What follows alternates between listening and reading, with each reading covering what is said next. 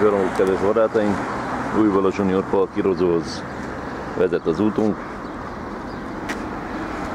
Most volt összetakarítva. Kell nézni megint.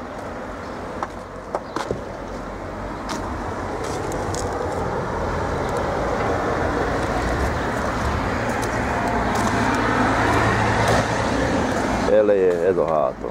Valószínű, hogy ez a szelektív hulladékba jár ez a bőrönd is.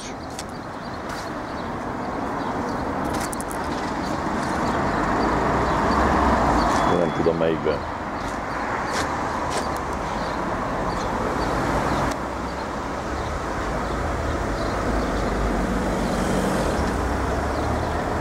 Szél, szél óta vihar megjártotta. Megint tele van szeméttel ismét a falkirozó. Az ilyen emberek jó voltából.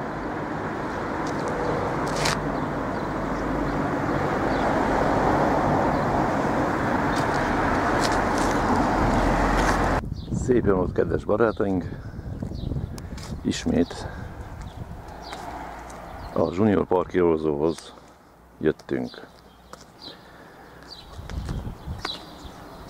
Egy nap telt el, hogy feltakarították. Pénteken csináltam ismét egy kis, készítettem pontosabban egy kis filmet, szintén ugyanerről.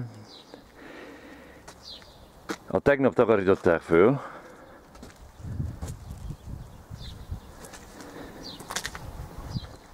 Ma már ez a látvány fogod megint.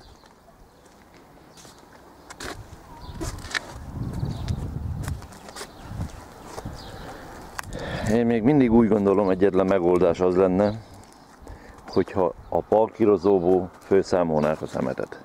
Tehát maga a tározókat elvinnék más helyre.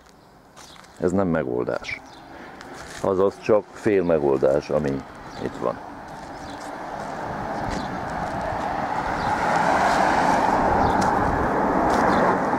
Rengeteg ember, rengeteg kiránduló itt jár ezen a részen, használja a parkírozót. Nem lehetne parkosítani, ehelyett valami padokat kirakni, asztalokat. Kicsit emelje a színvonalat. Nem nincs, aki ezen elgondolkozzon. A másik nem utolsó sorban. Olyan tényekkel nézünk szembe, amit már javasoltunk a polgármesteri hivatalnak, hivatalosan papíron lefedve, hogy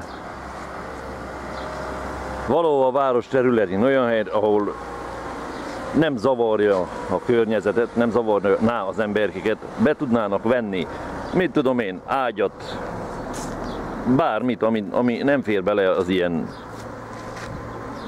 kontájnerekbe. És nem törmelék, hanem mit tudom, megmaradt épp, épp használati bútorok, vagy bármi. Ez volna kellő segítség szerintem. Ezen kellene változtatni, és minél hamarabb megoldást találni erre. Ez a mi városunk. Ismét arra kérjük, hogyha nem fér bele, ne dobják le melléje. Hívják fel ezt a számot, értesítsék, adják át neki.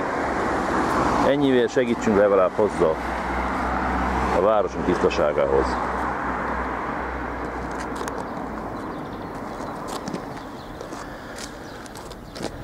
Minden jót, Magyar Lajost hallották, utca egyesület. Kérem, tartsanak velünk!